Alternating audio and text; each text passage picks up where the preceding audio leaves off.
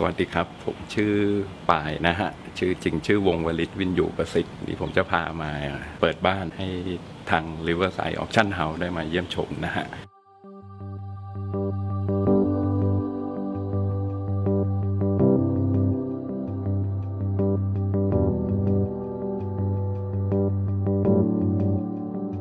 จริง ๆ แล้วที่นี่มีชื่อเรียกหรือเปล่าครับผม ชื่อเรียกผมใช้ชื่อว่าสาครบุรีแอนติกสาครบุรีเป็นชื่อเก่าของจังหวัดสมุทรสาคร ปกติแล้วเก็บคอลเลกชันอะไรเป็นพิเศษบ้างหรือเปเอ่ล่าครับอที่ผมชอบก็จะหนักเป็นพวกงานกระเบื้องพวกเป็นจะลงลายขาว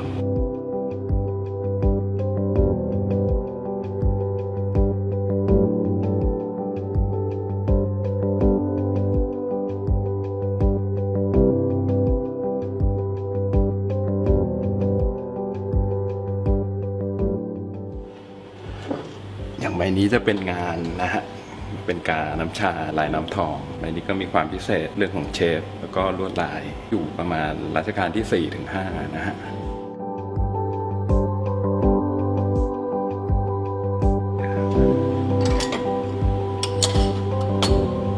อันนี้เขาจะเรียกเครื่องถ้วยวังหน้านะครับ จะเป็นลายสัตว์พวกเทพนิยาย ความหมายของวังหน้าคือยังไงเหรอครับ เนื้อกระเบื้องที่มีการเขียนลายในไทย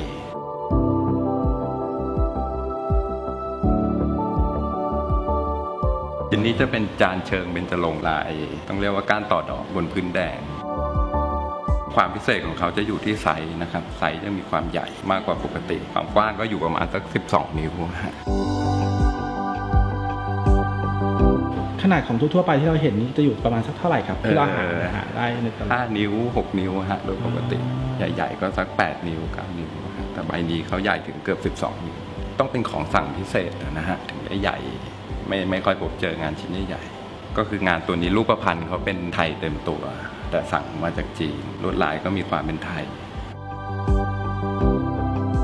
ชิ้นอื่นก็จะมีเป็นพวกโถปีกยอดทอง พวกนี้ก็จะใส่เป็นพวกแป้ง พวกกระแจ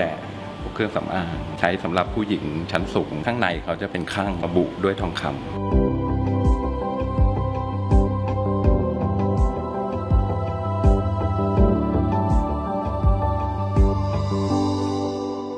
ยกได้ว่าผมโตมาจำความได้ ผมก็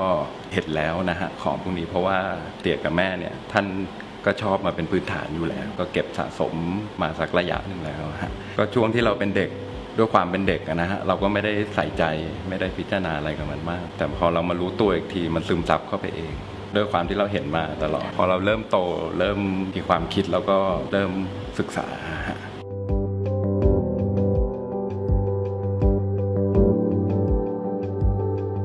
เคยได้เป็นงานกระเบื้องสองชิ้นนะฮะรูปพันธ์เป็นกระโถนถ้าภาษาคนเล่นเขาจะเรียกลายวัดไทย อีกใบหนึ่งเป็นลายสามห้างคู่นี้ผมประมูลได้ที่ RCB คู่นี้จัดว่าเป็นลายที่พิเศษ ลายไทยเนี่ยนะฮะเขาจะมีอยู่ประมาณ 4-5 ลาย จะมีลายวัดไทย ลายยุทธยา ลายเขาวังที่เพชรบุรี แล้วก็ลาย 13 ห้างเป็นลวดลายของวิวของในประเทศไทยนะฮะในสถานที่สำคัญต่างๆ มาเขียนลงไปในกระโถน จะสร้างอยู่ช่วงสมัยรัชกาลที่ 4 คือผมมองเห็นถึงความสำคัญของคุณค่าของงานศิลปะวัตถุโบราณนะฮะ มองเห็นคุณค่าของฝีมือของเชิงช่างที่สร้างสรรค์งานเอาไว้ในอดีต ผมมองว่าช่างโบราณเนี่ยเก่งที่สามารถทำให้ของที่มีอายุผ่านมานับร้อยปี ยังได้รับความนิยมอยู่ในจนจนปัจจุบันนี้ ในเมื่อเราเป็นคนไทย เรามีรากเหง้าของความเป็นไทยอยู่ ก็อยากเชิญชวนคนรุ่นใหม่นะฮะให้เข้ามาช่วยกันรักษาแล้วก็ดูแล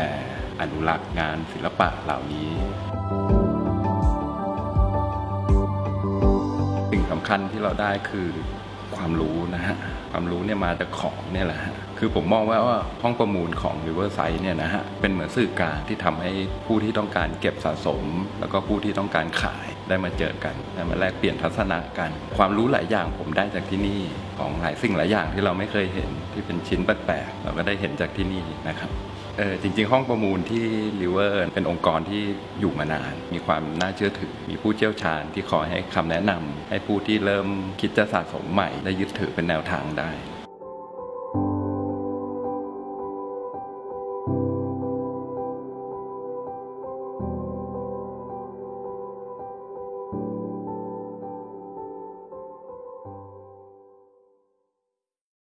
สำหรับการสะสมปัจจุบันเนี่ยนะฮะไม่จำเป็นว่าผู้สะสมรุ่นใหม่จะต้องเป็นคนอายุเยอะ เพราะของพวกนี้สามารถเรียนรู้ได้เท่าทันกันหมด ก็อยากจะให้นักสะสมรุ่นใหม่ ศึกษาสะสม อย่างน้อยก็มีห้องประมูลที่ River City เป็นพื้นฐาน